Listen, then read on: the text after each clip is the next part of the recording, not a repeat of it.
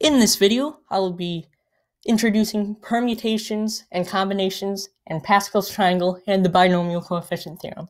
So let's start off with permutations. Say I have 10 runners in a race, right? They're all strutting their legs like that. They're all warming up. 10 of those, okay? And they're all running a race. And say this is the finish line.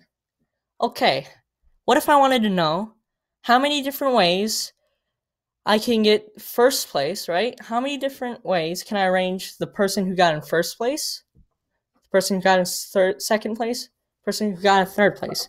How many different combinations can I get of those? Well, any of the first 10 of the first runners could get first, right? At any moment, 10 runners have the ability to get first, right? There's 10 runners in the race. They each have an equal probability if we assume that there is an equal probability for each of them. Okay? Well, how many people can get second place now? Well, one person already crossed first, so there's only going to be nine people left to choose for second. What about third? Well, there's going to be eight people. Eight people left to choose for it. Well, multiply all those together right? 10 times 9 times 8, because all of these have to be true, right? What do I get out of that? 720.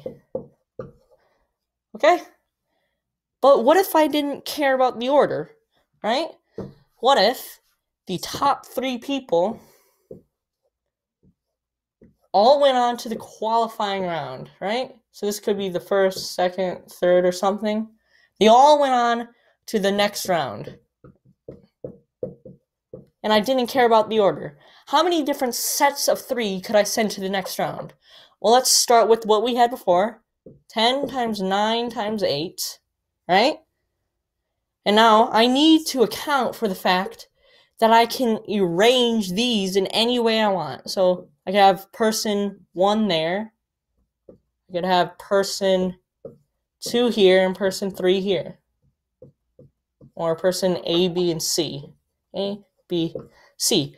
Okay, I can arrange this any way I want, and it'll get the same result, right?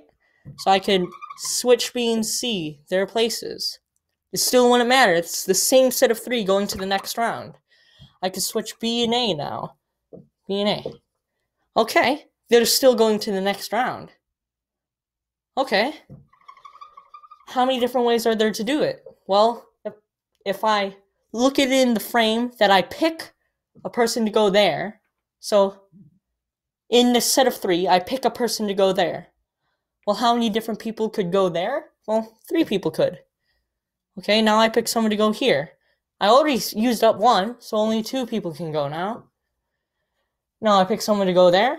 Well, one person can go there now. So, what I do is I divide it, right? I overcounted. In each of these, there's a set of this, all of the permutations of these guys, okay? And so I need to divide to get rid of that ambiguity, right?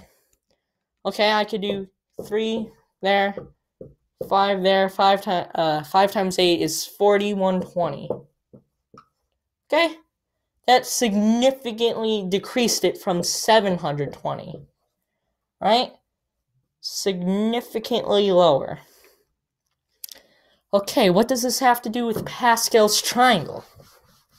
And for that matter, what is Pascal's triangle? So, well, we start with a 1. That one gives birth to two other ones. Said that weird. Okay, now this one gives birth to a 1 there, gives birth to a 1 there. But this one also gives birth to a 1 there, gives birth to a 1 there. Well, 1 plus 1 is 2.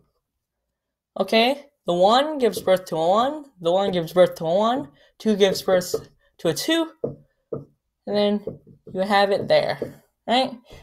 Those become 3, those become 3. You can continue that, right? Okay, I'm gonna stop there. I'm an idiot for. okay, I'm to stop there just because this makes our point. Say I had one runner. Let's start off with zero runners, right? What if I had zero runners and I picked zero of them? Uh, and zero move on to the next round. Okay? Well, I'm going to have zero, right? Divided by zero, it doesn't work that way, okay? So if I have zero runners and I pick zero of them, how many different ways are there to do that? There's one. Okay? So let's write that down right here. Zero, zero. Okay? Okay, if I had one runner and uh, zero move on, how many different ways are there to do that? Well, one. If I had uh, three runners and two moved on, right? Well, then I do 3 times 2 divided by 2 times 1. That's going to give us uh, 3. Well, if I look at this, 0, 1, 2. 3 right there. Okay? Yeah, what if I did 4 runners and 2 move on? Right? Well, I do 4 times 3 divided by 2 times 1. It's going to be 2 times 3 equal to 6. Well, if I do zero, one, two, right there in the fourth row. So 4, 0, 1, 2, 3, 4, 0, 1, 2. I go to right there, it'll give me the answer. So uh, if I do the next row, 1, 5, 10, 10, 5, 1, right? And I had 5 runners and 3 move on, right? I could do 5 times 4 times 3 divided by 3 times 2 times 1. Those cancel out. That becomes a 2. I get a 10. Well, if I go down to the fifth row 0, 1, 2, 3, 4, 5, and I count over 3, 0, 1, 2, 3, right there is 10. Okay, what if I did the next row down, right? 1, 6, 15, 20, 15, 6, 1. Okay. And I did six runners, four move on. Six runners, four move on. Right? Well, I'm going to have six times five times four times three over four times three times two times one. Cancel out, cancel out. Two, three, I get 15. Well, if I go down to the sixth row, one, two, three, four. Uh, sorry, zero, one, two, three, four. Right there, 15. Okay, isn't that interesting? There's another reason why we do this. Because it gives us a connection. If I wanted to do x plus 1 times x plus 1 times up until x plus 1, and I'm multiplying it by itself n times, n times, how can I write it? Right? I'll, I'll do an example. Two times. So I'm going to have x plus 1 times x plus 1. I'm going to distribute this entire thing into both of these. Okay, so I'm going to have x times x plus 1, and then plus x plus 1. Distribute the x I get x squared plus x plus x plus 1 or x squared plus 2x plus 1. What you may notice, invisible 1 out there, 1, 2, 1. 1, 2, 1. Okay, so let's take that result, right? So x squared plus 2x plus 1. And let's multiply by x plus 1, okay? I'm going to do it the easy way, x cubed plus 3x squared plus 3x plus 1. If you do it out, you, you, can, you will get this. 1, 3, 3, 1, right there. So, what's the reasoning behind this?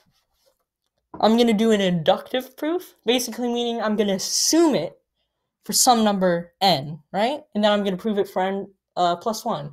So I'm going to have x plus 1 to the power of n times x plus 1. Right? I'm just going to multiply it by x plus 1 again.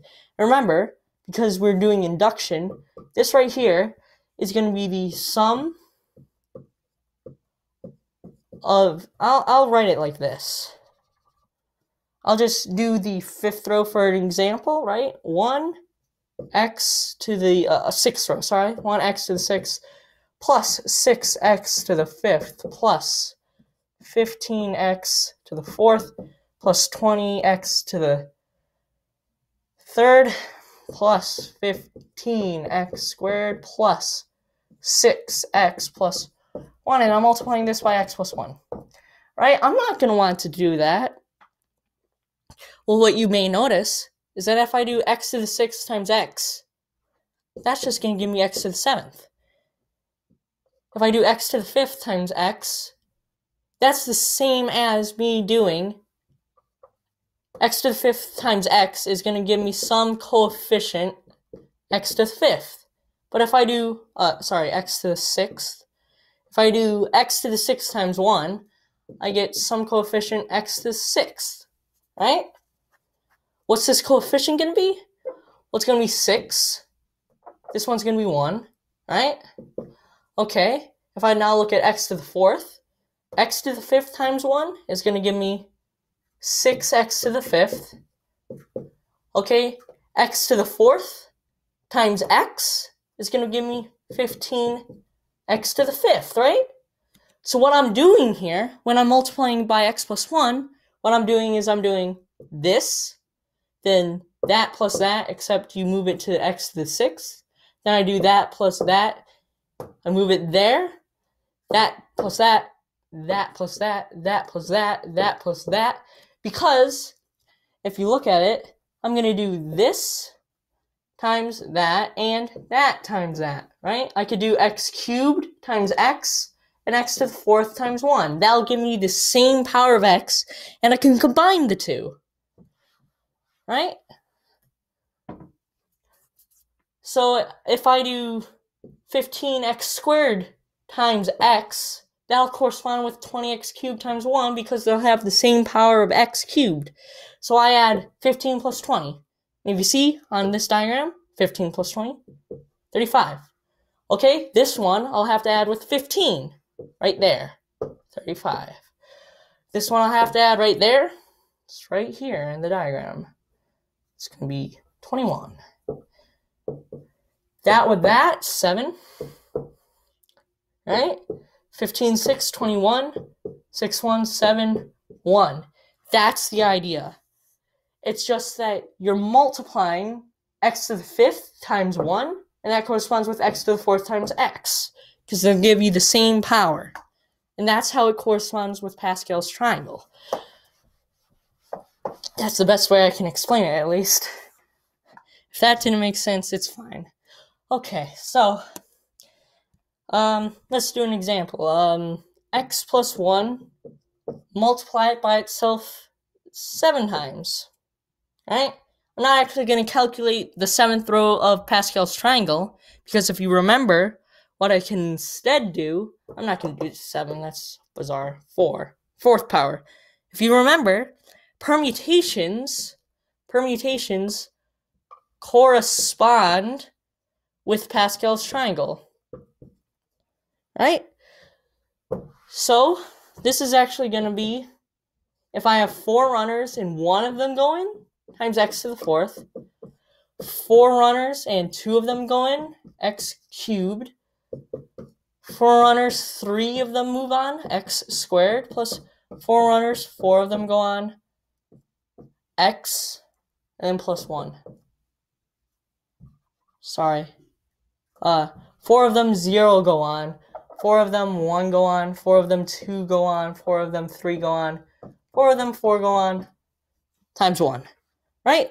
Because this, if you remember, corresponds with 0, 1, 2, 3, 4 on the Pascal triangle, and then going over to the zeroth place. Right there, corresponds with going over one, going over another one, going over another one, right? So that all corresponds to Pascal's triangle. So for some reason, when you try and multiply x plus 1 by itself a bunch of times, you get permutations and statistics. Isn't that kind of cool?